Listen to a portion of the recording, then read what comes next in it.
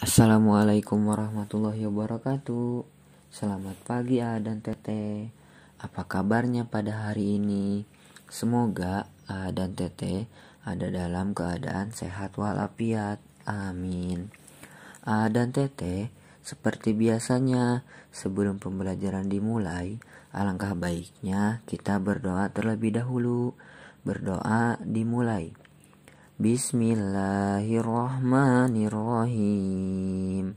Rabbi jidni ilman Warjukni fahman.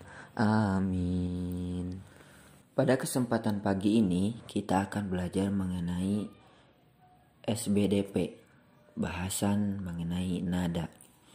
Nada adalah bunyi yang beraturan dan memiliki frekuensi tertentu nada tidak berwujud. Karena nada tidak berwujud, sehingga nada digambarkan dengan simbol notasi angka dan notasi balok. Susunan nada-nada yang mulai dari salah satu nada dasar sampai dengan nada oktavnya, misalnya do, re, mi, fa, sol, la, si, do, disebut tangga nada. Tangga nada ini berfungsi untuk agar sebuah lagu bernada kombinasi.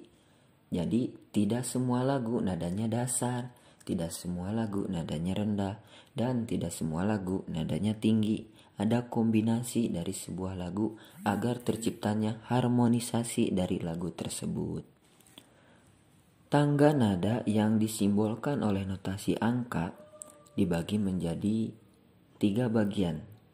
Ada nada rendah, nada oktavnya rendah, nada oktavnya sedang, dan nada oktavnya tinggi. Nada yang oktavnya rendah dapat kita bedakan dan dapat kita lihat dari simbol yang ada pada angka tersebut. Di bawah angka ada titik. Nah, ini menyimbolkan bahwa nada tersebut rendah. Kemudian nada yang oktavnya sedang disimbolkan dengan angka saja, tidak ada tik-tik. Kemudian yang nada oktavnya tinggi disimbolkan dengan angka yang ada titiknya di atas angka.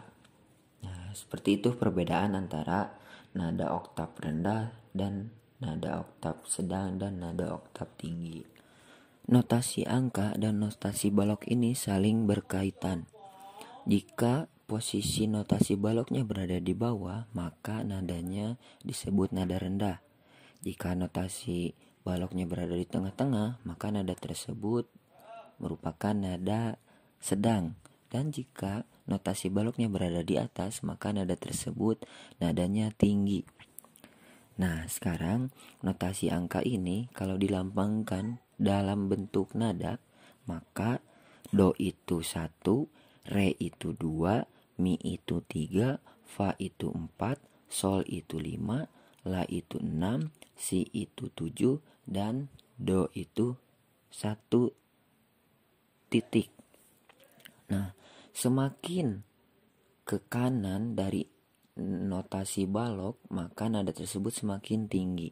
Seperti itu A dan Tete. A dan Tete untuk pembelajaran hari ini kita cukupkan sekian dulu ya. Sebelum kita tutup, alangkah baiknya kita berdoa terlebih dahulu. Bismillahirrahmanirrahim. Subhanakallahumma wa bihamdika ashadu an la ilaha illa anta astaghfiruka wa atubu ilaik. Amin. Alhamdulillah dan Tete dari Fariski dicukupkan sekian. Mohon maaf apabila ada salah-salah kata. Bila itu wal hidayah. Wassalamualaikum warahmatullahi wabarakatuh.